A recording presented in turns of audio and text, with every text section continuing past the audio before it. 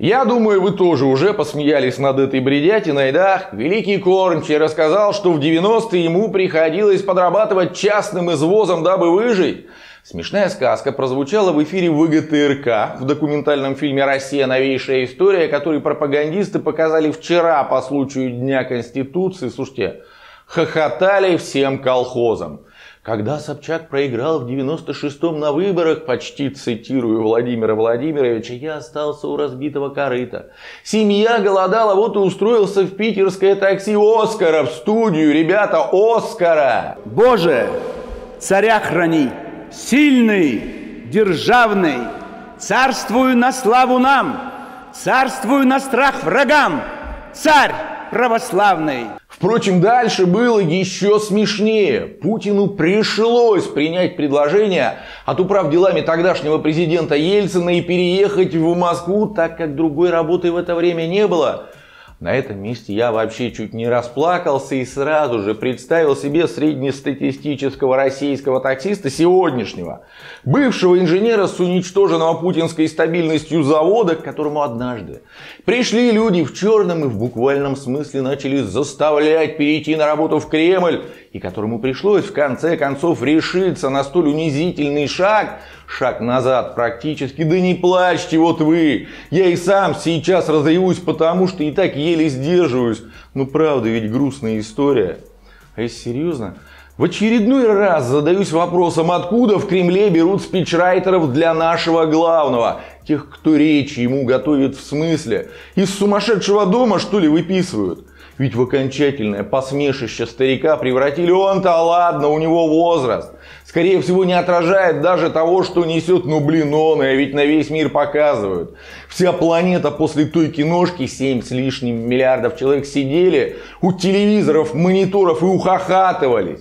И так уже в адекватности дедушки многие за бугром сомневаются, так нет, мы им еще пищи для размышления подкинем. Мистер Бин, блин, из 21 века. Жириновского на повороте человек обойти умудрился. Это реальная журналистика. Материться хочется, честное слово. Поехали!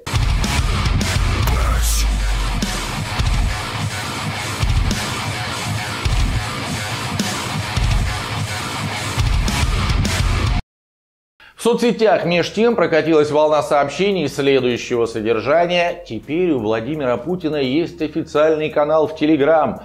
Подписывайся и задавай вопросы, вопросы президенту. Самое смешное, что Ваня в очередной раз купился. Особенно ура патриоты, которые, ай да, перекидывать данный фейк друг другу, обсуждали что-то там между собой. Сокрушались, мол, жаль, что комментарии закрыты. Так хочется пообщаться с главнюком напрямую. Господи, ну откуда такие люди берутся? Ну почему русского человека так легко купить на простой фуфел? Какой телеграм у Путина, если у него даже мобильного телефона нет? Он им пользоваться не умеет лично, об этом говорил всего пару месяцев назад. У меня мобильный есть, в отличие от вас. А у вас, кстати, есть мобильный, Владимир Владимирович? Даже с питерских времен не осталось там? 8 921, нет?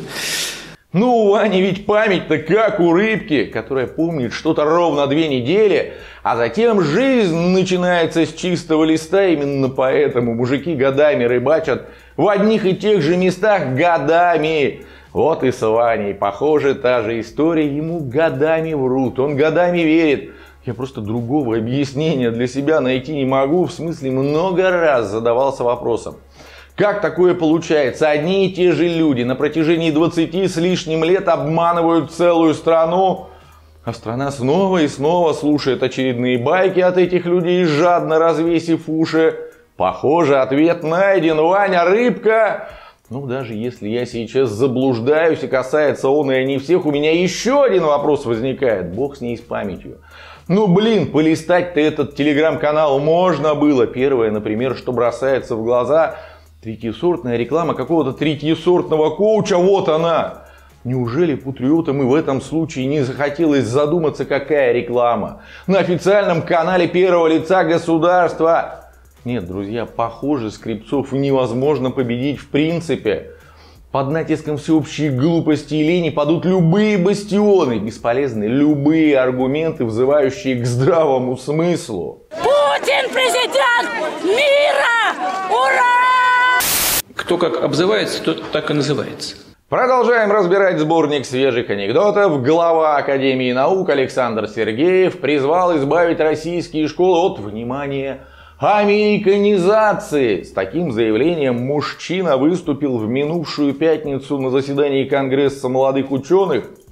К сожалению, мы с вами видим, что из-за прыжка в капитализм мы пришли к такому же некачественному образованию, как в Америке.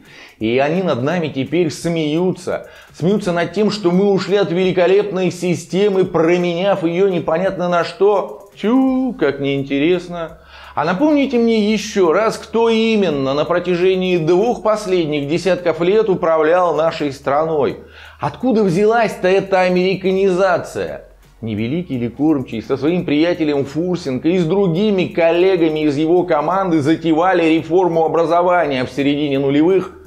Кто угробил советскую систему, в том числе школьного обучения, кто разделил Минобр и создал министерство, название которого даже произносить стыдно просвещение, с чьей подачи нормальные экзамены заменили бестолковыми тестами позорного ЕГЭ. Неужели все это сделал Навальный? Навальный бросал на меня камни. А, а, а, значит... Ну, подгорает уже, ей-богу. 22 года ребята из команды Владимира Владимировича совершали рывки и прорывы, а они же. их лживые пропагандисты все это время кричали из каждого утюга то, что сейчас делается, приведет Россию к неизбежному процветанию. Вот этот вот господин Сергеев, кстати, на должность президента РАН в сентябре 2017 был назначен лично верховным главнокомандующим всея Руси. Его не академики выбирали своим главой, его Путин в то кресло посадил, а теперь, значит, когда промахи полезли изо всех щелей, ребятишки один за другим вдруг бросились искать крайнего – начался какой-то детский лепет, похожий на лопотание небезызвестного персонажа из нашей, э, из нашей Раши. А кто это сделал? Несут ахинею про происки врагов, про западный след, ища всю дорогу какую-то черную кошку в темной комнате. Так вот еще раз напомню вам, дорогие рыбки, про рыбок выше говорил, что вот эти вот люди,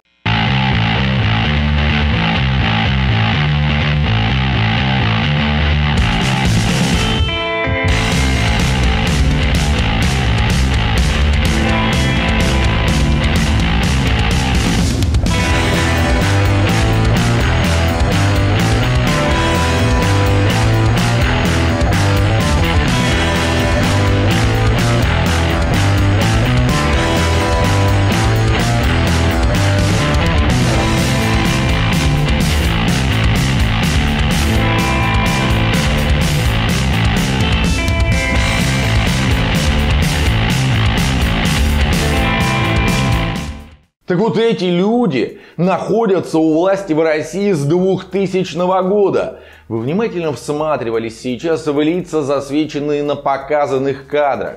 Да, это команда, с которой Владимир Путин победоносно въехал в Кремль.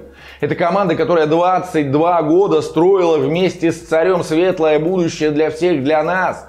Это команда, которая и сегодня продолжает крутить штурвал российского «Титаника». Все они без исключения с 2000-го, повторюсь, сидят на ответственных должностях в нашей стране. Так где надо искать виноватого-то? Ладно, чтобы не на грустной ноте, вот сейчас держитесь за что-нибудь. Российским судьям запретили материться в официальных документах. Такое решение на днях вынесла комиссия Совета судей страны по этике, цитирую. Употребление нецензурной брани и распространение материалов, содержащих нецензурную брань, не только противоречит общепринятым нравственно-этическим нормам, но и при определенных обстоятельствах относится к наказуемым действиям. Вопрос номер один. А что раньше можно было, в смысле материться в официальных документах? Вот так прямо разрешалось писать в определениях судья такого-то суда постановил мочить к***ла в сортире. Но серьезный вот теперь вопрос номер два. Насколько компетентны российские судьи, если такие банальные вещи им приходится разъяснять? Да еще посредством целой комиссии, а впрочем, господа, хоть кто-то из вас удивлен? Все, переваривайте, это была реальная журналистика сегодня, вот так.